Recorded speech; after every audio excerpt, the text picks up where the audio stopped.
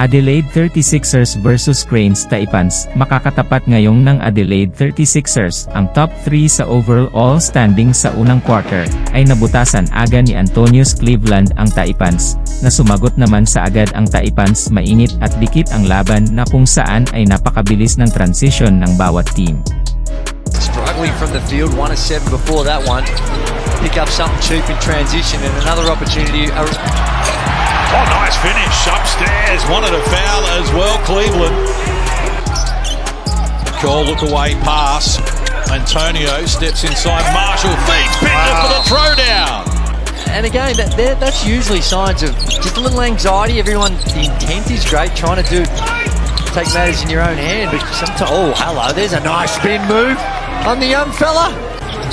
So they've got the job ahead of them. This is Pinder. Looking on Frank's got him going the wrong oh, that's way. Tough. That's tough. That's tough. And the training on Wednesday was very spirited. It was one of the more high energy trainings I've ever seen him.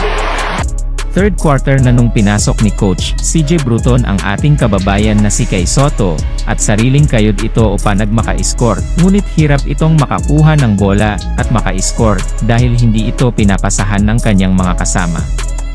Panoorin natin ang kanilang laban. So edging their way back into the equation. Marshall in traffic, pass knocked down, loose ball comes to Bul Kuol. Turnovers and self-inflicted wounds for Adelaide. Oh, oh. Pinder comes up with the play of the game. Franks.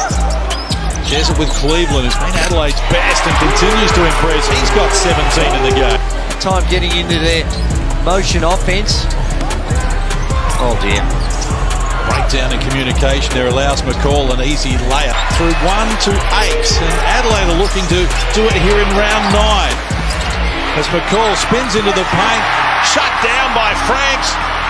Shot clock rolls to seven. Sunday Dech with it against McCall. Puts it on the deck, confronted by Scott. Now works his way to the baseline, adds the two. We are tied away at 73.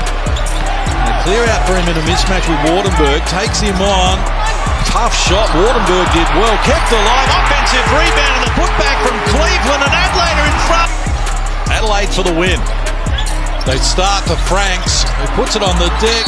Oh, he great oh, no. defense. Drawn a foul with 2.3 seconds left on the clock, and the Taipans needing to go coast to coast.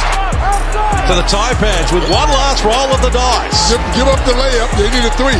There it is. There it is. Shawn and Adelaide have prevailed in a remarkable night.